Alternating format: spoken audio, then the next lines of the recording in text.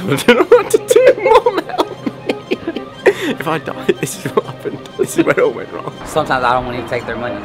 Sometimes, but most of the time I would. Welcome to the Circuit of Americas. I'm here in Texas. I've just arrived from Argentina. This has been the craziest week ever, and I think this is the most ludicrous vlog yet. When me and Aaron arrived yesterday, we nearly get mugged, and yeah, it's just been a mad week. So you'll make sure you watch this till the end. Enjoy.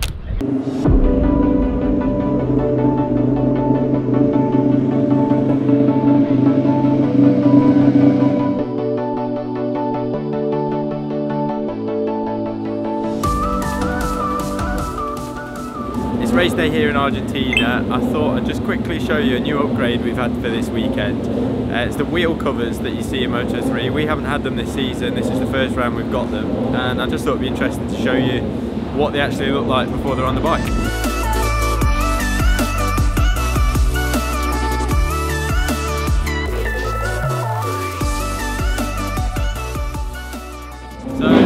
Interesting thing to note about the wheel covers is when they're on, you can't actually do the tyre pressures. So Dennis uh, is just here doing the tyre pressures without the wheel covers on, and then they quickly fit them once the pressures have been done. They go on the bike, and then that's the bike ready to go. So this is the wheel cover.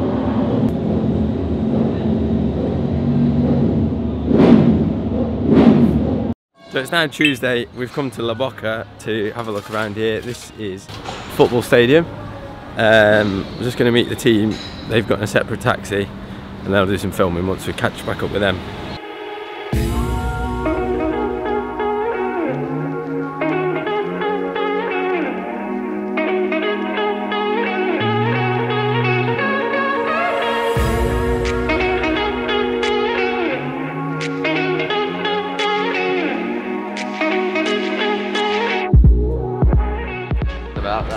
What did you say? It's not quite Scunny United.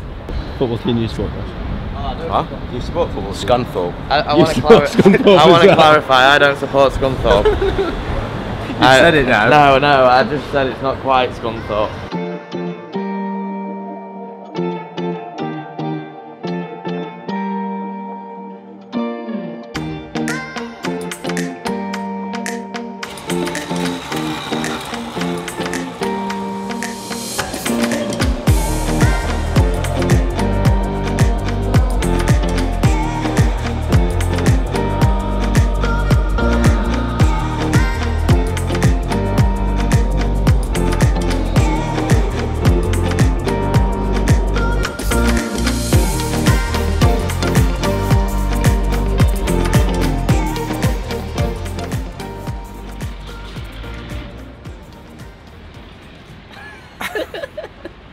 Me and Paul have just been told. What have we just been told, Paul?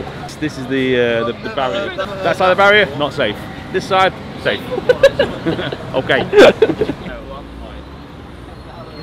Heading back to the hotel now. I'm a little bit wary of this area now because the tax, one of the taxis on the way here said it's dodgy, and then we just went to find another taxi, and a bloke said don't walk down there because it's dangerous. This taxi guy says it's not that dangerous, but you, there might be pickpockets and stuff like that. But I don't need two people telling me in an hour that this area is not safe, so we're just gonna abort and go back to the hotel. But it's cool to see the stadium, and in the city it seems pretty safe so far. So we're gonna head back there instead.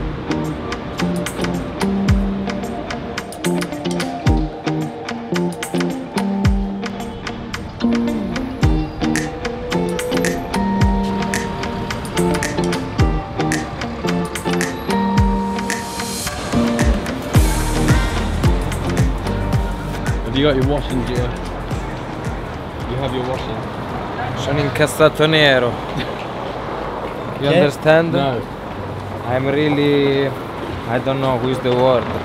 I'm full gas. You're full gas. Yeah, it's better I don't speak. Uh, I hope this video don't go to the Instagram or something because uh, I am full gas. PS5. PS5. GS5.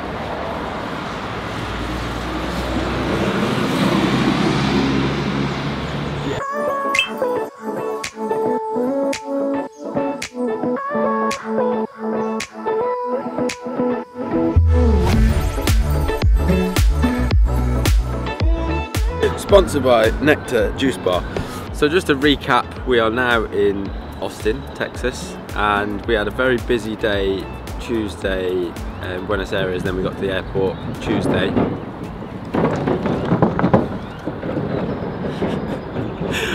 Wednesday we travelled all day so didn't actually get to film a lot yesterday. We were in the airport for a long time.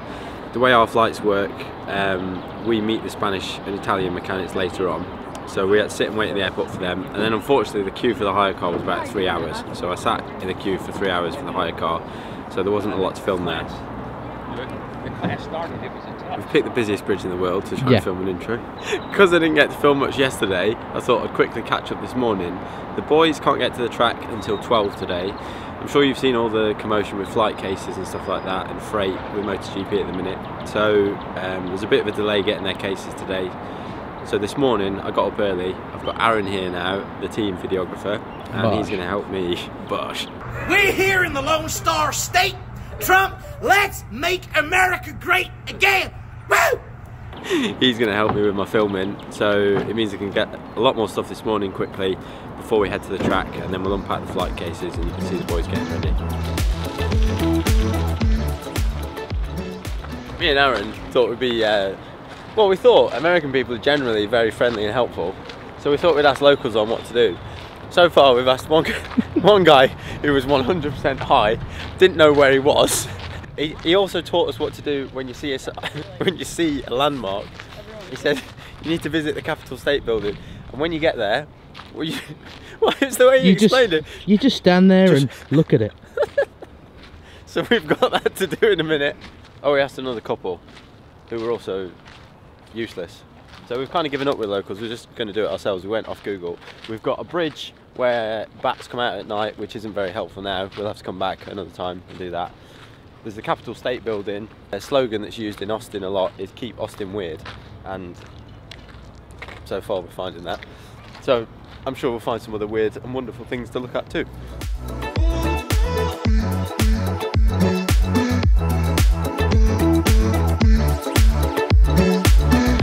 So over here is the Congress Avenue Bridge, and at night time, the well, the receptionist said there was millions of bats. I'm not sure if there is millions or if there's just a lot of bats, uh, but a lot of bats appear here at night. We'll come back later. Probably won't have time tonight because the team will be um, getting set up later on into the evening. But Friday, Saturday, or even Sunday night, we're still here, so we can probably shoot there and have a look at that later on in the week.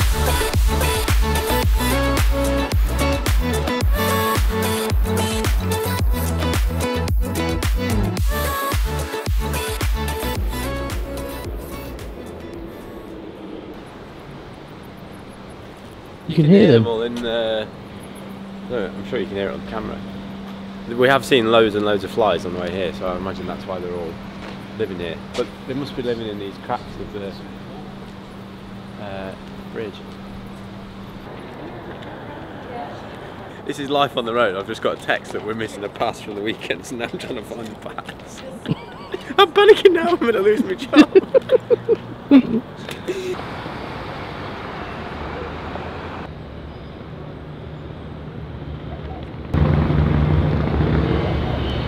Getting an insta shot.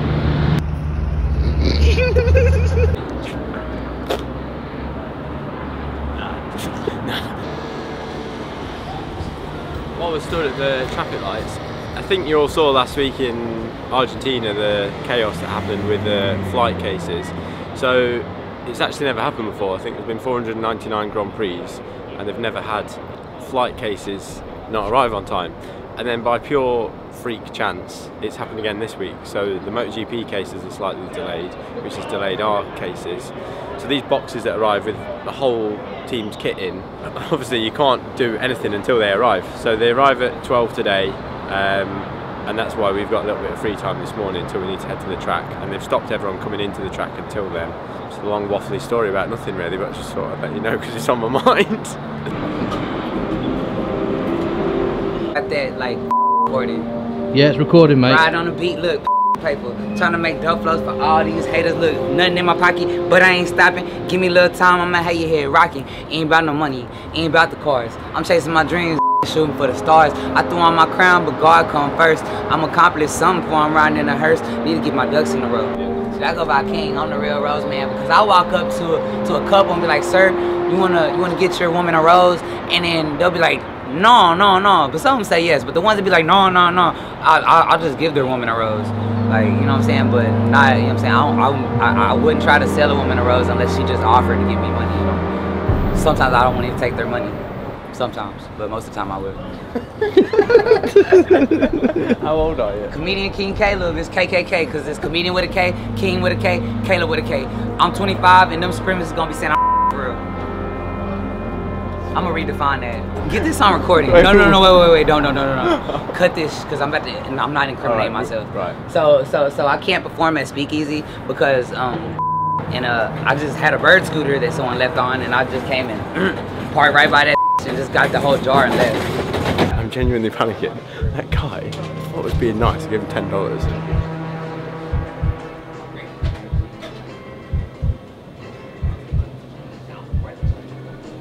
Started going mad.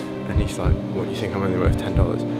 He, he flipping wrapped crabs over the thirty seconds, and uh, so we panicked and come in here because he wouldn't leave us Gone for a refuge in a liquor store. The guy on the till is like, you're all right?" So we've. But now I don't know because now we're penned in here and he's sat outside and he's got transport, he's got a bicycle, and I've got dodgy leg and I can't run that fast. I don't know what to do now. He's not a nice guy. I thought he was a nice guy and he's not. Turned quite violent once the uh, camera turned off. So I don't know what to do. Mom, help me. If I die, this is what happened. This is where it all went wrong. So, after hiding in the shop, what happened then was we were walking down the street and a guy said to us, he said, Have you got any dollars?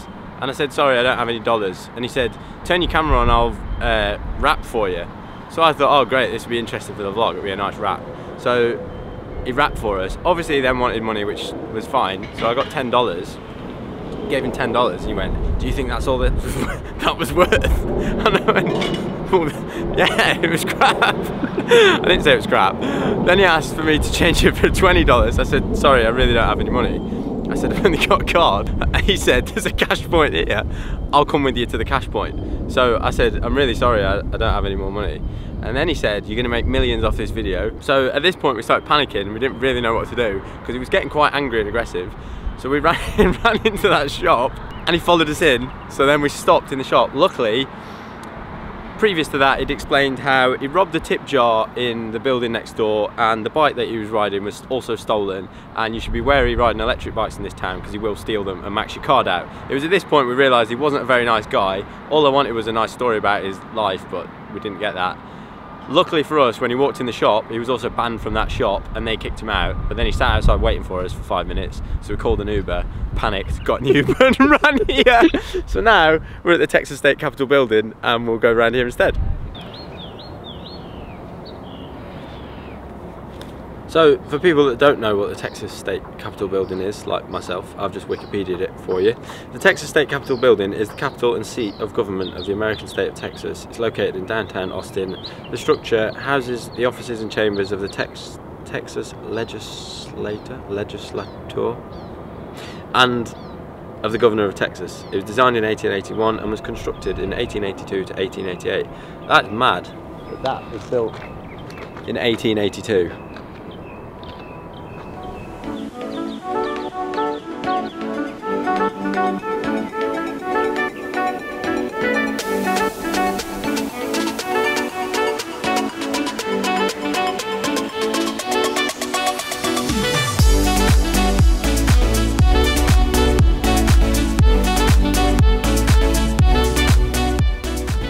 Actually all happened this morning as well. We didn't film this because I felt sorry for the poor girl, but some 20 year old, maybe 25 year old girl collapsed in front of us when we were walking, and then we went to help her up, and I think she was having a panic attack, and she didn't want help, but she was also panicking and couldn't breathe.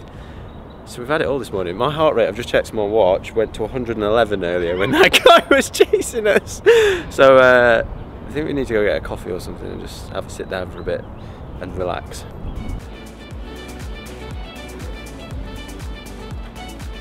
When you need everything out of your pockets, bags up here, the camera and the container.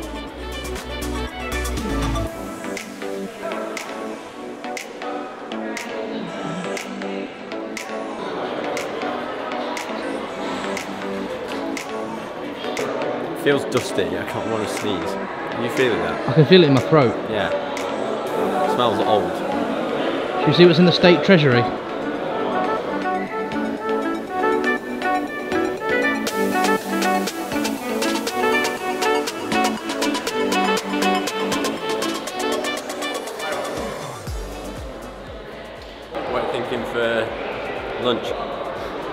Slash brunch? I think we need something Texasy. Some barbecue smokehouse. Yeah. Just in case anyone ever comes to the Texas State Capitol building and you wonder why there's no food on the north side, we've just been told inside that everything is on the south side of the building. Unfortunately, our Mexican taxi driver didn't understand my broken Spanish and he dropped us in the middle of a Industrial estate. industrial estate basically. So now we're going to try the south side and see if we can find anything to eat.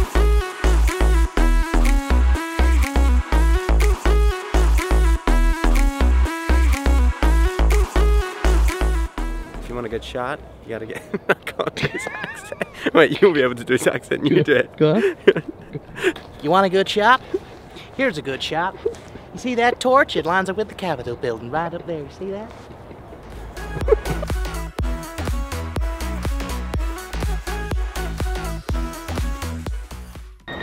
Googling El Arroyo, it says permanently closed. We just had a recommendation from a English person, the first first helpful person here. She's not posh, but she's from the Cotswolds, and her accent is completely gone. You, can't actually tell her she's she's not posh, 100% not posh. This is my friend Antonio. I don't know if you know. He, he's Italian. If you want to head to El Arroyo, it's Tex-Mex. Don't know if you've heard of it. It's Tex-Mex. That means Texan and Mexican. Thanks for the heads up, Julia. Turned into an episode of Man v Food. What have we got? We got some brisket here and some ribs. Mac and cheese. Taste test. Happy. Bosh. That's a happy man right there.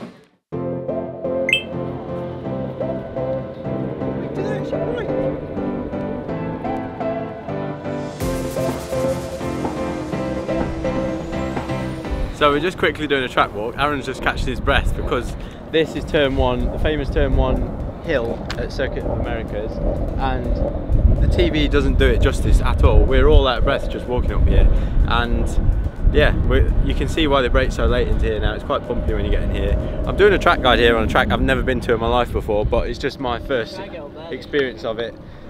But yeah, the first thing we noticed is how steep it is up here, and I can see why everyone can do some big dive bomb passes in there. So we'll, Cardiac hill. Cardiac hill. Turn we'll carry one. on. See how tight this is. I've never seen a corner so tight. It's probably clear for what four meters across.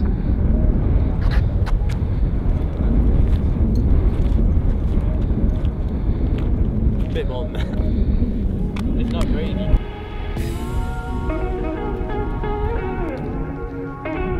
Getting tucked in, Taylor.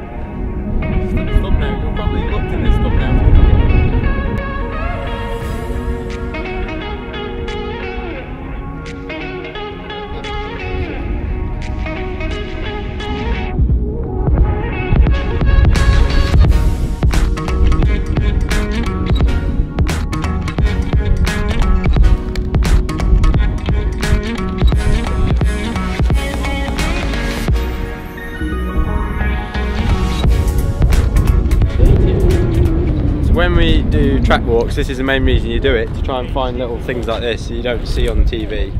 Uh, this is all the bit that's meant to have been resurfaced, but the few, you can see here where I presume cars have been grounding out. So you have a look, when then when you're on the bike, things like that don't surprise you.